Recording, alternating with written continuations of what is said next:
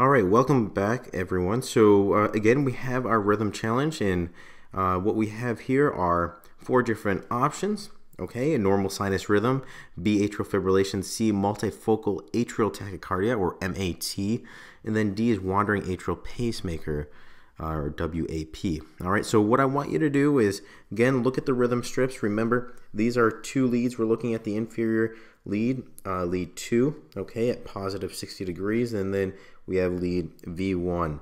Both of us giving good ideas of the P waves, all right, so that should help you there.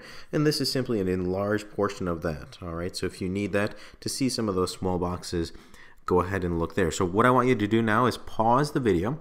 What you're doing is trying to identify what rhythm is most likely present here. Again, we're choosing the best answer. Okay, so pause the video, take a moment to go through it yourself, and then we'll look at this together. All right, so hopefully you had a chance to choose one of these four answer choices.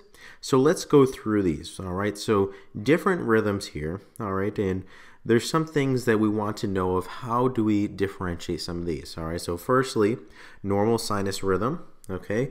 Notice that, remember, this is a regular rhythm, meaning that the intervals between different uh, waves or segments are the same, okay? So the interval from, for instance, here's an R wave, and this is an R wave that follows. This is what we call the R to R interval. If that interval is the same, meaning from this one to the one that follows, okay, and if you continued that out, you would have a regular interval or regular rhythm, okay? All right, and what we're going to see already, you can probably already identify. Notice as we measure out all these R to R intervals, notice this one here is longer than the one that precedes it, okay? Then we have maybe a shorter one that comes afterwards. And what you're seeing is that they are not the same, okay? So none of these intervals are the same, and that's what we call an irregular rhythm, okay? So irregular.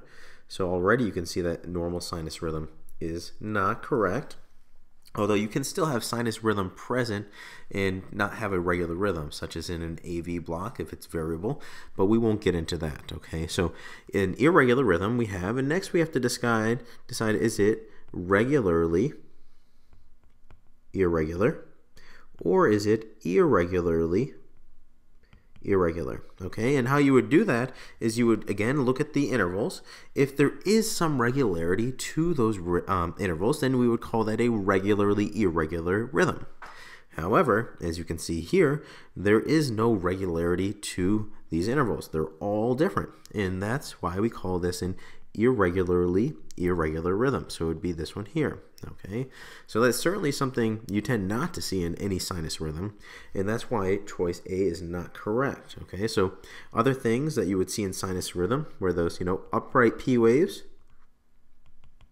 Okay, in leads that were oriented between 0 and 75 degrees in the frontal plane. Okay, so that would be like 1, 2, sometimes AVF and 3 you could see them in, okay, but mainly 1 and 2, all right, so we have lead 2 here. We can see some P waves present, okay, and they're upright. And then in the horizontal plane, V4 to V6, they tend to be upright too. Remember, in lead V1, in sinus rhythm, you tend to see these biphasic P waves. Remember the initial portion representing right atrial depolarization and this latter portion left atrial depolarization. Okay, so that would be in lead V1. Okay, you can sort of see that here. All right, some of that up and then that negative deflection. All right, so that's that. All right, and then again, with sinus rhythm, you want those P waves to have similar morphology. So notice these are P waves that I'm identifying. There's a P wave, but it's buried within this T wave. Here's a P wave, one somewhere in here, another one. Again, one somewhere there, one dis uh, causing um, kind of if you compare it, this is a T wave. So if you see this one is also T wave, but notice how they look different. And that's because you have what we call um, a P on T phenomenon where the P wave is falling on top of the T wave and distorting that T wave. Okay, here's another P wave. Okay, this is a T wave, and then you can see the P wave following. All right, then kind of a combination of the two, that P on T phenomenon. All right, so what we can see here are P waves present, and notice that the P waves have a different morphology. Okay, so P waves present with different morphology. Okay, with sinus rhythm, you want constant morphology of the P waves. Okay, so that's one thing we don't see here. Another reason why sinus rhythm is not correct. All right. Now, how about atrial fibrillation? We said this is an irregularly irregular rhythm. Okay. But what's interesting is that all three of these here listed are irregularly irregular rhythm. Okay.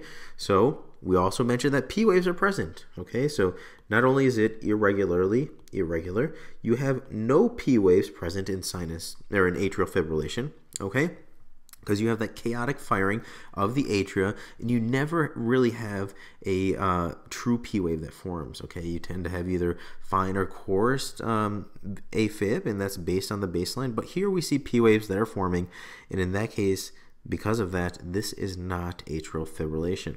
Okay. So, despite this being an irregularly irregular rhythm, and atrial fibrillation being the most common of the irregularly irregular rhythms, this is not the choice here. So, again, atrial fibrillation is not correct. All right. So next we're left with multifocal atrial tachycardia or wandering atrial pacemaker. Okay. Again, we said these are both irregularly irregular, and that's what I'm putting here with IR IR. Okay. So that's just my way of um, denoting that. So that's so you're aware. All right. Another thing is P waves are present.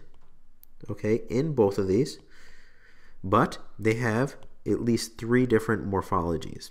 Okay, so at least three different P wave morphologies. And what do I mean by morphologies? Well, simply the shape of them. If you look down here, here's lead two. Okay, easier to see. This is a P wave here. Okay, there's a P wave coming somewhere buried within there. But then notice here's a P wave. Okay, another one buried somewhere in there. Here's another P wave that follows. Okay, but if you look up here, it's probably easier to see. This P wave looks different than this P wave. So that's one, two, okay? And then we have this P wave here, three. They all have different morphologies, okay? Here's another P wave there and one that follows. All right, so if you were looking at all of these P waves, you would see that they had different morphologies. Here's a P wave down here, okay? There's one showing up down there, so we must have one somewhere in here, okay? Another P wave one occurring somewhere in here. Remember, if one's occurring above, it's also occurring below because that's what we call a temporal relationship of the ECG. Okay, things happening above and below are happening at the same time because time goes left to right. Okay, on the ECG. So again, Here's our P waves, okay? And you can end up seeing all these having different morphologies, and you need at least three to identify one of these uh, C or D as that rhythm, okay? So three different P wave morphologies, both irregular. So what really distinguishes them, okay? Well, um, what distinguishes them is that they have different rates. When you think of multifocal atrial tachycardia, you're thinking of a rate of at least 100 beats per minute, okay? And when you think of wandering atrial pacemaker, this has a ventricular rate of less than 100 beats per minute. Okay, so what we would have to do here is to measure out the rate on this um, rhythm. All right. Now remember, we said this is an irregular rhythm, so we can we have to. There's one way we can do it, and I would kind of recommend if you don't know how to find the rate, use this rate this way because you can use it for both regular and irregular rhythm. So remember, we have a standard ECG from beginning all the way to the end. Okay, so I gave this is all 10 seconds. All right, so if you multiply 10 seconds by 6, 10 times 6 is 60. 60 seconds is one minute. Okay, so what we want to do is count the number of QRS complexes. Okay, we can find the atrial or ventricular rate. Let's use the QRS complexes and find the ventricular rate.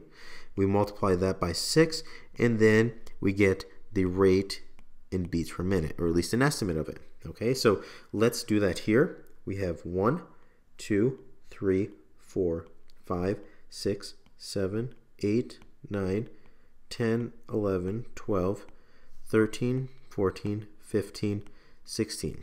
Okay, so we have 16 if I counted correctly.